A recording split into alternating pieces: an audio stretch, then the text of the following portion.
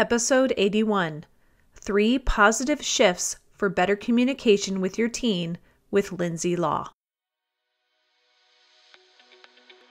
Welcome to Latter day Life Coaches, the podcast where each episode is a conversation between me, Heather Rackham, and one of my amazing coach colleagues. Each coach here is a member of the Church of Jesus Christ of Latter day Saints and certified through the Life Coach School. Together, we have one main goal helping you live your best life no matter what. You ready for this conversation with the coach? Here we go. It's a pretty normal desire as a parent to want our children to be happy. While often well intended, not allowing our children to experience emotions that are outside of what we would deem as happy can create self doubt and insecurity. On today's podcast, Coach Lindsay Law gives three shifts parents can make in their communication with their teen so that they can help their teens feel validated and accepted in their emotions. And as with most coaching tools, these shifts will not only increase a teen's confidence, but a parent's confidence as well. Okay, folks, I get to talk today with Coach Lindsay Law, and we actually just got off from doing an Instagram live together. So we get to spend, gosh, quite a bit of time with one another today. And I'm excited for you guys to get to spend some time with her. Lindsay, as we get started, can you introduce yourself and tell us a little bit about you? Yes, sure. Um, so I am a mama of six and homeschooling mom and also a youth life coach. And I help teens and tweens embrace self love and confidence so that when those hard things come, they have those tools and they're ready to handle them. So, and do you want me to tell you a bit about my story? I would love you to. I think it's fun for people to hear how you even became yeah. a coach or why well, you became I, a coach. I feel like this is a good group to share it with because it was kind of a spiritual experience for me. Mm-hmm. So that might, you know, resonate yep, with this someone. is the place for that. This then. is the place. I can't say that to everybody, but yep, I know. Yeah. So a couple years ago, I started living some dreams in my life. Uh, we moved into a motorhome with our kids, rented our house out, drove across Canada. We're from Canada went from ocean to ocean and just started doing some things that were just different, you know, getting away from the nine to five job. And we moved across the country. And I just had this desire to share the joy of living dreams and like not just kind of getting stuck in like the safe life, right? Like, mm-hmm just what you know and what feels comfortable and just staying there. And because I started doing a lot of uncomfortable things. And as much as it was hard, it was also completely amazing. And so I started thinking about this business I was going to start. Anyway, I woke up one morning and I had this impression you need to be a life coach.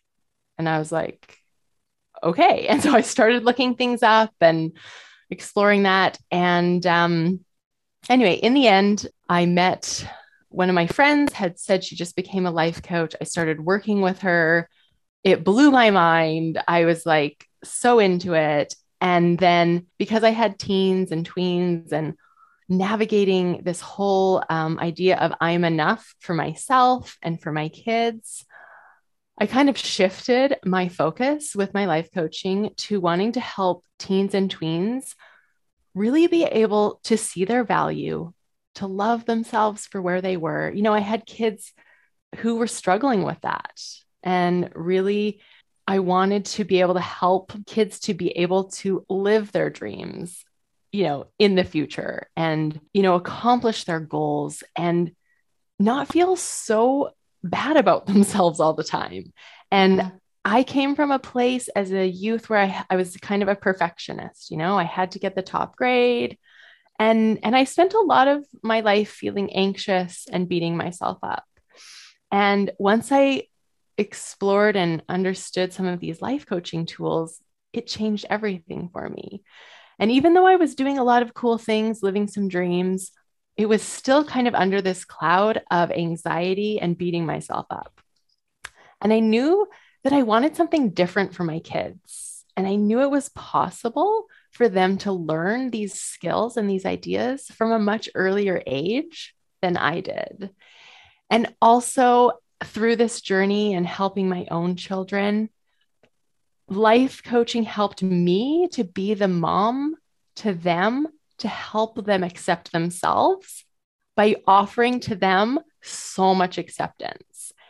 And it came through life coaching and studying different things that I was able to discover that there was some really key points in the way I communicated with my kids that really said to them, "Hey, you're enough.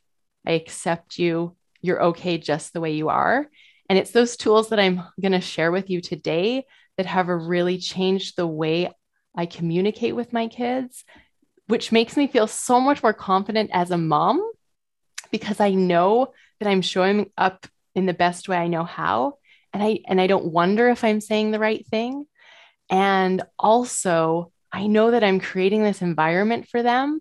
And now, although per- unperfectly, like I don't do it perfectly, but I'm able to create an environment for them, environment for them that they're more likely to accept themselves. They're more likely to see their value. And of course, I can't make them like see their goodness. But it really, it really came home to me when I had a daughter who was struggling to see her value. And I would come in and I'd say, No, you're wonderful, but look at this. You're so good at this, and you're so good at this. And everyone thinks you're wonderful. And I love you, and you're wonderful. But she didn't see it. And me just continuing to tell her wasn't helping. And so I had to really discover how to actually help her come to that place and of course, I can't do it for her, but I can make it easier for her. Mm-hmm. And so mm-hmm. that is my passion is to help parents and teens get to this place of love and acceptance and confidence for teens and youth. And that comes from helping teens and youth, like specifically talking to them and coaching them with their thoughts and emotions, but also helping parents create an environment that those thoughts come more easily. Mm-hmm. So mm-hmm. that's it's such a my story. Thank you for sharing that. And I think it's so it's so good for us to hear people's stories because it's just like everybody else's story right we we find ourselves in in each other's stories and it helps us connect i i'm interested though before i can move forward i want to know how what the age of your kids are like your youngest to your oldest yeah so my oldest is about to turn 18, which is okay. kind of blowing my mind mm-hmm. because I also have a one year old. Okay. so, so I had my first four kids kind of closer together. And then I had like a four and a half year break and a four and a half year break. And these two amazing little caboose babies that were wanted and planned, but just the way life worked out, they just ended up being kind of spaced out. And the fun thing about that is that my older kids are like just gaga over these two younger so ones. fun to watch. And so helpful. And like, yeah, seeing my 17 year old with my one year old always just brings so much joy to my mother heart. So, yeah. oh, that's yeah. so fun. It's, it's so a fun, fun group it's crazy, but we have a lot of fun together. Busy, busy life, busy household. So much yeah. fun. And thank you for sharing that. As you were saying, you know, you had a daughter that was struggling to see her value and to love herself. And and as parents, we are usually pretty good at being able to point out all those things. But you know, as a parent, as an adult, like if somebody says, Hey, you look good today, and you don't think you do, you just brush off what they say. You don't believe it. No, and not even totally just fine. that, like not even brush it off but sometimes if we don't believe that, our brain actually sh- tells us the, the opposite. So yes. when so when I say to my daughter, "You're amazing," her little brain who doesn't believe that is like, "No, you're not. You're not amazing." And yeah. so actually instead of reinforcing like I as a parent I'm thinking I'm reinforcing for my daughter that she's amazing. But what I'm actually doing is reinforcing the negative thought. And so I'm not saying just to be clear, I'm not saying don't say nice things to your kids, don't praise them, but your communication needs to be more than just focusing on all the great things they do and all the positive things they do. I'm saying, right. that's a part of it. But if that's the only part, and if their brain is already believing a lot of negative things about themselves, it may actually be counterproductive, is Yeah. what I'm saying. Yeah, Yeah. I just I bring that up because it because we understand that. We I, I mean, we've experienced that, right? When somebody Yeah. says something to us and we don't believe it and we just like whatever. It doesn't mean anything and it sometimes is counterproductive, makes us feel worse. And imagine what that's like in a teenager's brain who doesn't have even some of the skills and most of adults don't even have the I skills know. either, but honest. you know, their brains are already crazy because of hormones and all the other things. So it's kind of a crapshoot, actually. Sometimes don't you feel Well, like it's like, well, yeah.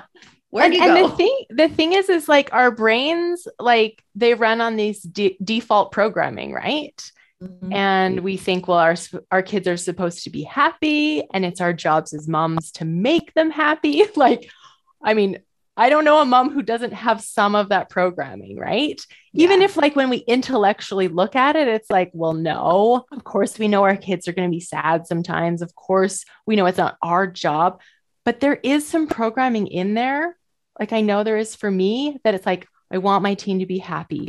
I can fix this. I can make them happy.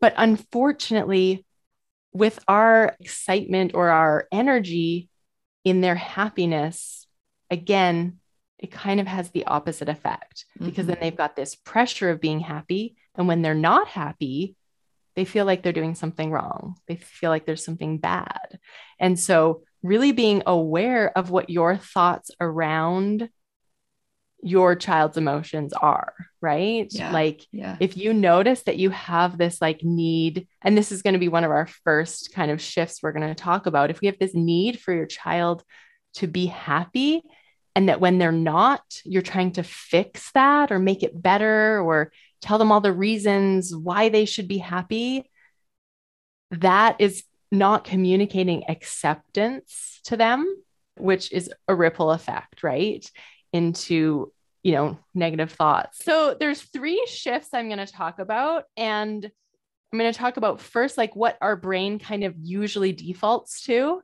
and i'm basing this on my brain and a whole ton of other parent brains i've talked to. Guesses are you're in there. And then we're going to talk about how you can shift the way you talk to your teen to help them feel accepted by you. And why that's important is because when they feel that acceptance that what they're experiencing is okay, what they're thinking is okay, what they're feeling is okay, they're far more likely to accept themselves. And when they're feeling that self acceptance, there's less room in there for the, that negative self talk, those unhelpful thoughts, that beating themselves up. And what we do is when we make these shifts is we model for them how they could treat themselves in their own brain. Mhm. So that's why these shifts are so important is because for one communicates acceptance and the other beautiful thing is when we're communicating that acceptance to our kids, we are also creating such a deep level of connection with them. These are the conversations and these are the way we talk that create that connection. And as we know with relationships, like connection is key for building that relationship, right? And Mhm. so acceptance, connection, and then also modeling for them how they can treat themselves or how they can kind of talk to themselves in their own brain. So the first shift is moving from fixing, which I kind of just talked about, to validating. And I have a couple examples to share. So Oh, good. I love examples. yeah. So again, like we we come into these parents and I can really see this because I have a 1-year-old, right? She's a baby. She- When she cries, like that's her letting me know there's a problem or she's uncomfortable or she needs something. And so as we start out as parents, that's how our kids start communicating to us. It's with crying, right? And so we're like, "Oh, there's a problem. I need to fix something." And so it's no wonder that we're still trying to do that when they're teenagers, right? They were Yep. reinforced. They're very well trained. Very, very well well trained. The baby cries, it's a problem, we fix it. Boom, done. Diapers change. For many reasons, right? We feel bad for them. Plus, we might go crazy if we have to listen to that for yeah, exactly, right? And there's a very good reason that that like pattern exists, right? That's not a Mhm. problem. But what we need to know is that as our kids grow, we also need to shift a little bit.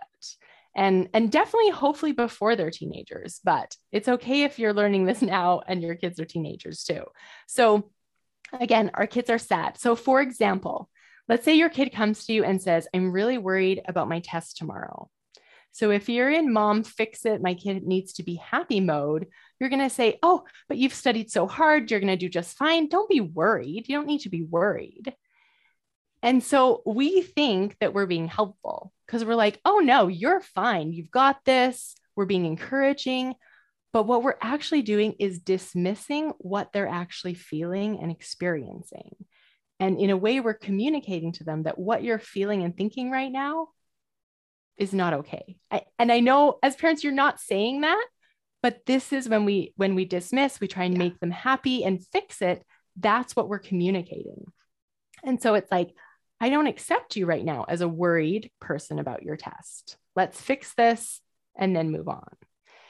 And again, we're not doing this intentionally. That's our default brain just going there. It's okay. Just notice it. But then what you can learn to do once you've kind of noticed that is learn how to validate. Now, I I've heard the word validate through my life and I'm like, okay, you repeat back what someone says. That was kind of my understanding of validation. I have a much deeper understanding of validation and I'm going to share some of those key points with you. So, the really important thing to understand about validation is that we're communicating to the other person that we see them and we hear them and that we don't actually have to agree with them.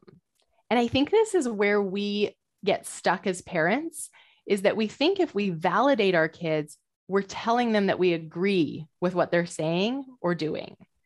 And that is not the case. So, for example, in this, I'm worried about my test example. In instead of you know that previous example saying, "Oh no, don't be worried," we can say, you know what? When I was a kid, I used to be really worried about tests too. Lots of people get worried about tests. We're normalizing that for them. We're saying, hey, I experienced that too. And then we can say, hey, is there something particular that you're worried about?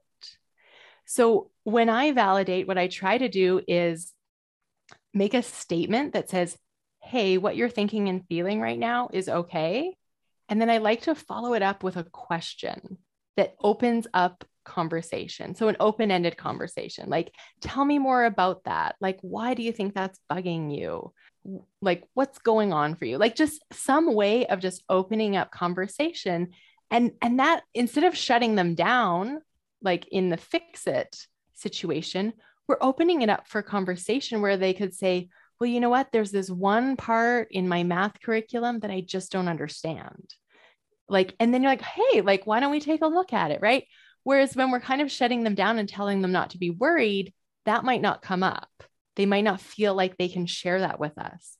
And so, not only have we created connection and acceptance, also we've we may open up like an opportunity to solve a problem for them and to help them. And so that's why it's so important to do this shift. And again, it takes practice. You're not going to be perfect at it right away because, again, your brain is so used to fixing, and my kid has to be happy. And so, what I do to help myself to move from this fix it mode to validate mode is I just, when my kids come to talk to me about something, I kind of have this little mantra in my head. I'm like, I see you, I hear you. And that helps me to just move into that space. And and the other thing that parents come back with to me with is like, well, yeah, but like if they're doing something like, okay, like I have a kid that will like throw something, right? Mm-hmm. And it's like, okay, we can validate the thoughts and the feelings that led to the throwing. So, like, I'll say, hey, like, it's okay to feel upset. It's not okay to throw things in our house. And it's, and you can separate those instead mm-hmm. of feeling angry for the action you can say, hey, hey, like I acknowledge that what you're feeling right now is very real and it's okay. Like it's okay to feel what you're feeling. But in our house, we don't throw. Let's talk about this. What's going on for you? What's upsetting you right now? Yeah. And again, that opens the conversation we don't have to let them just get away with everything or, you know, do those things. We can say, hey, that's not okay, but let's talk about where that's coming from. What's bothering you right now? Yeah. And so, yeah, such an important shift. And I, I think it's so so simple and so basic right? I love that you just basically put it into two words see them hear them. And and the other two words that i heard you say was normalize it and start a conversation which is basically the same thing seeing them hearing them normalizing yeah. it having a conversation. And like that just is something my brain can grab onto. Yeah totally. And it's kind of the beginning of learning to process their own emotions Mm-hmm. Because when we process an emotion, for one, we're like maybe labeling it, we're acknowledging that it's okay that that's what we're experiencing. And then we're mm-hmm. kind of exploring it a bit. And so, yeah. you know, depending on where you are at as a parent in terms of processing emotions, that can be a building block for helping teaching them how to process it. Like, oh, mm-hmm. oh, like it looks like you're feeling really sad right now. Like, where are you feeling that? you know, and just like helping them learn to explore their own emotions mm-hmm. instead of saying, oh, don't be sad. Like, we don't want our kids to be sad. But if we tell them not to be sad, guess what? They're going to uh, be more sad.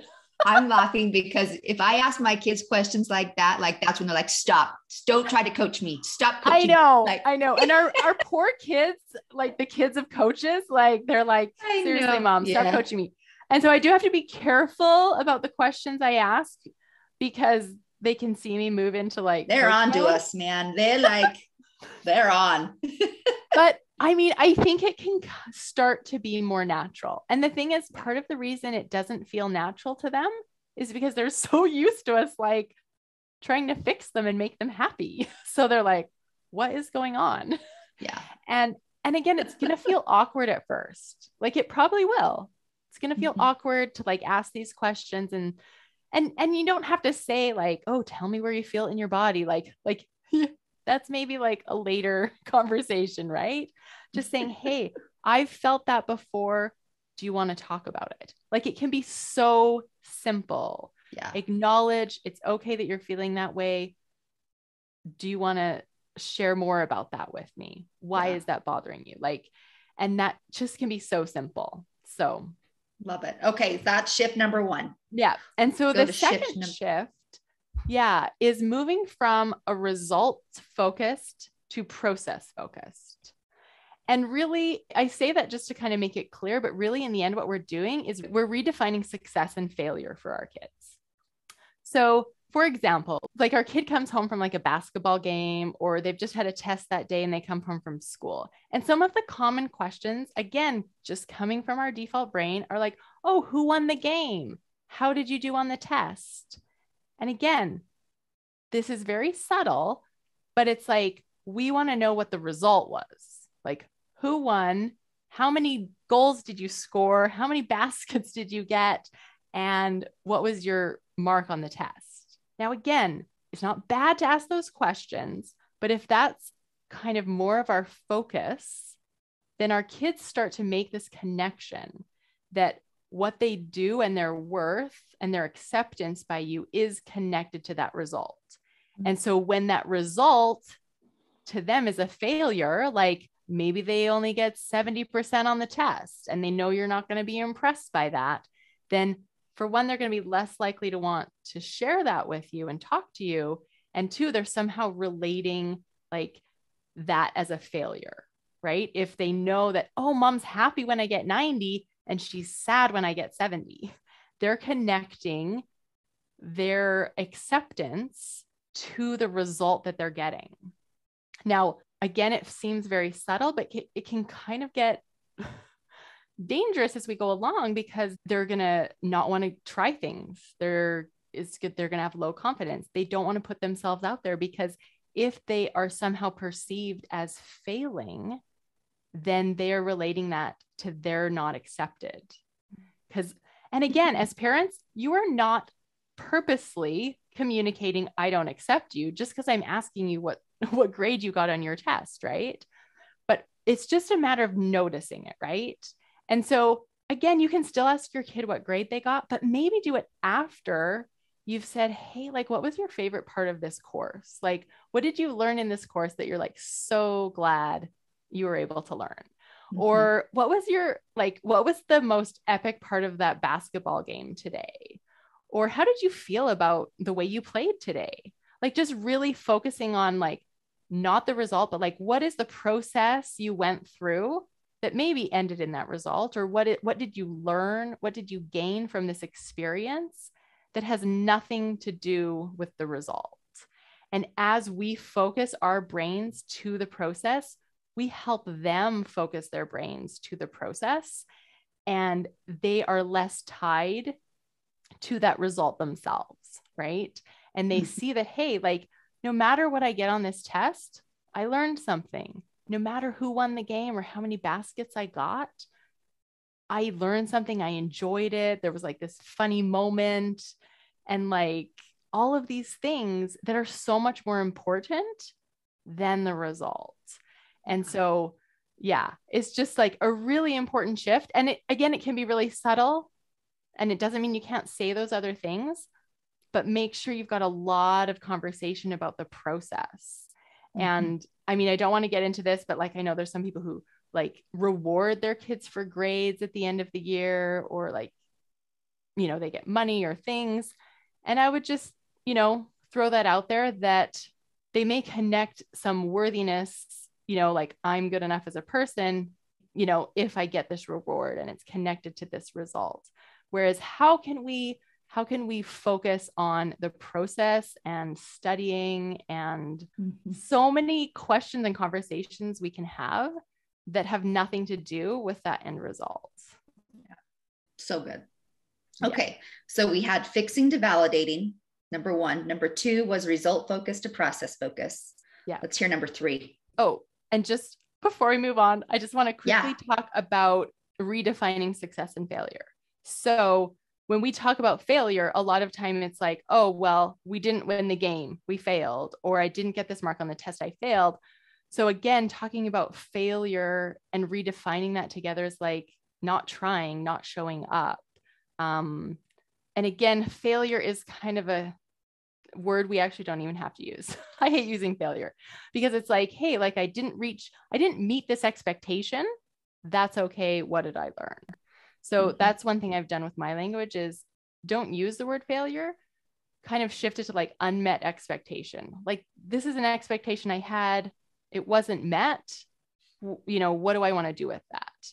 And then also defining success as the process, right? I got out there, I studied, I tried a new thing on the trampoline. It didn't work out, but that's okay. And really helping our kids see that success is trying, getting out there, you know, being ourselves and being willing to do things that might be hard or scary. So that's part of that conversation. so then the third shift is moving from judgment to curiosity. So again, and this is an example that comes up a lot is like, okay, my kids didn't do their chores. And what can happen in our brains very easily is we go to a judgment. Oh, my kids aren't trying, my kids are lazy. Or as moms love to do, we judge ourselves. Oh, like what's wrong with me? I didn't teach my kids to, you know, be good workers and pick up after themselves. Like that's my fault. And so there's a lot of judgment that can go on when something our kids do isn't, you know, what we wanted them to do. And so, again, when we're doing that in our brain, we're in this place of judgment, whether it's to ourselves or them. The way we show up to them is more like, hey, like, what's your problem? Why can't you do this? You know, it's more judgmental, right? And that's not creating connection. And again, that's, you know, when we show up like that, they're like, oh, there's something wrong with me, right? Mm-hmm. I'm not doing this right. I can never get it right. These are like kind of the the unhelpful thoughts that may be coming up. And so when we can move to curiosity, this opens the door for acceptance. So my kid didn't do his chores. I wonder why so and so didn't get to their chores today. Like maybe they're not feeling well. Maybe something happened at school that they, you know, are worried about. Like it could be so many things, right? Maybe they just forgot and they're human and that's okay. And maybe if I just go and say, Hey, like, I noticed that you didn't do your chores today. What's going on? You know, and having that curiosity. Because when we show up to our kids with curiosity and we really want to know, like, that's the definition of curious. Like, we want to know, we want to learn. And that's such a different way to show up than from a place of judgment.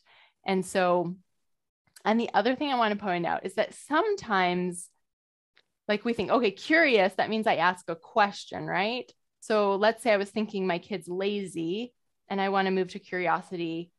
And I go to like, I wonder why my kid is lazy. that isn't exactly curiosity because you've still got that judgment word in there. So that's just mm-hmm. my caveat there that not all questions are created equal.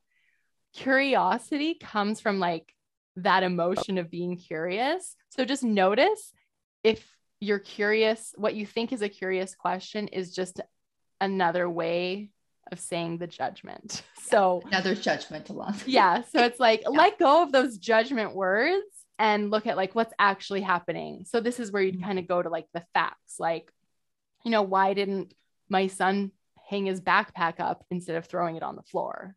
Instead of, I wonder why my kid's lazy, right? Mm-hmm. Really get to like letting go of that judgment in your curiosity because it's not true curiosity if you've still got some of those layers of judgment in there. So, yeah.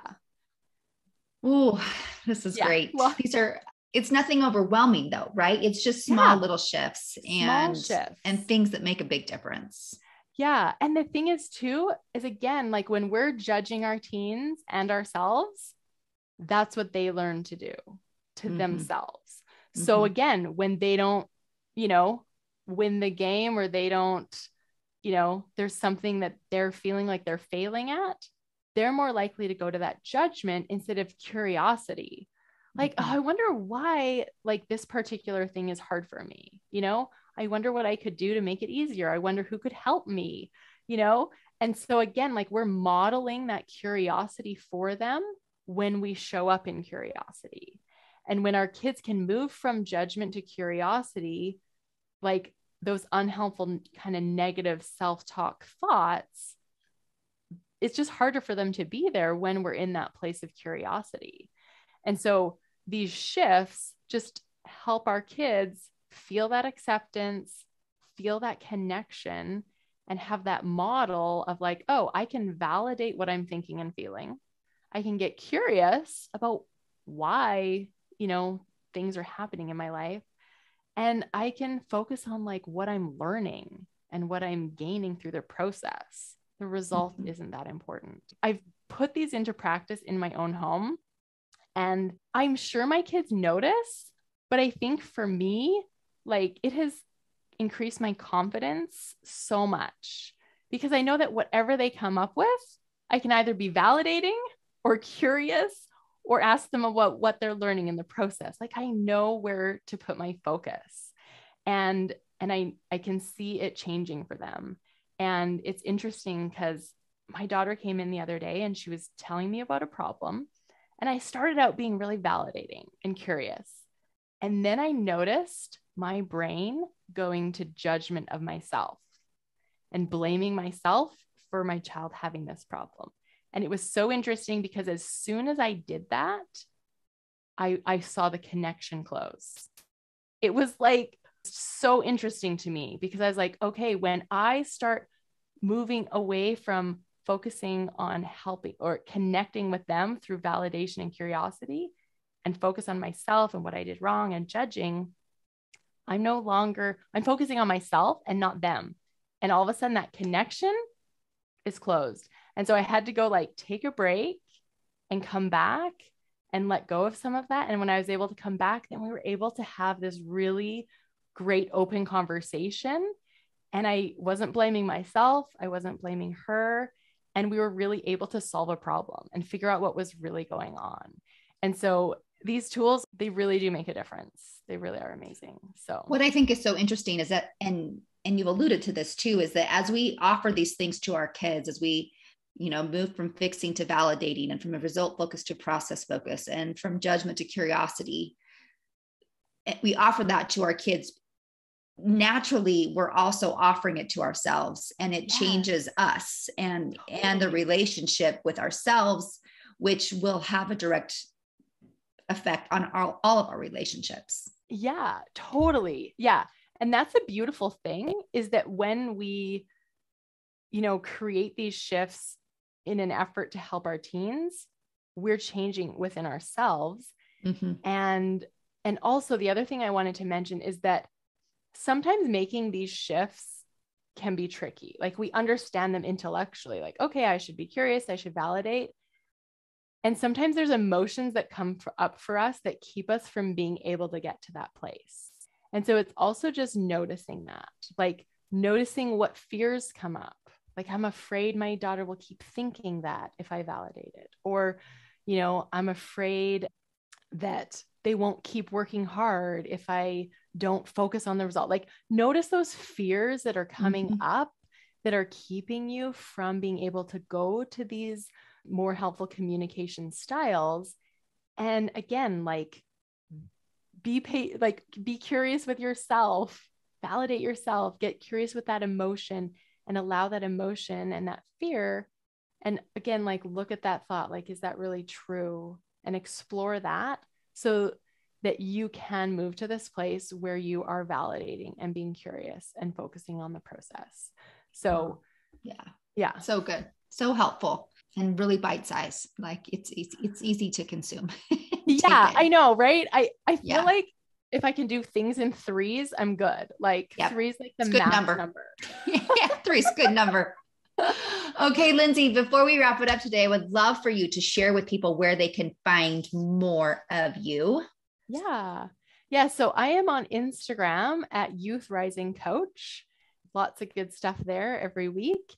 And then I also have a YouTube channel um, called Youth Rising, and you can link to it either from my website or from Instagram.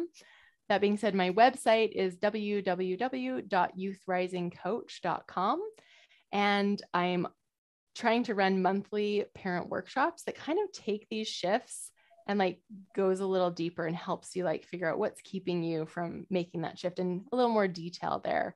So information from that will come from my website or from Instagram and um, yeah great to get in on one of those workshops. Awesome. So. fantastic resources. So so needed and like timeless right? Like it's just never the need for that's never going to end. So thank you.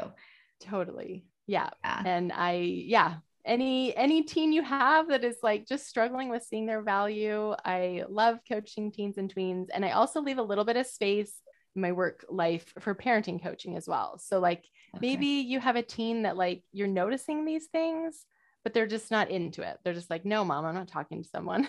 and that's yeah. totally okay. Because when we make those shifts, as we've talked about, it helps our teens as well. So yeah.